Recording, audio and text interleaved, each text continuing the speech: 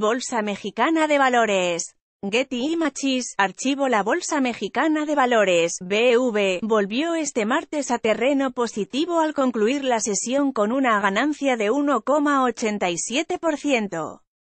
Con cifras preliminares, LS.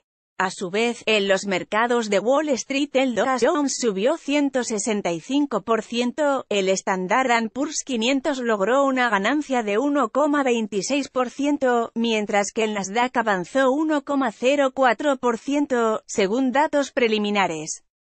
Te puede interesar, Wall Street abre al alza tras fuerte caída de acciones tecnológicas con información de Notimex, LLH.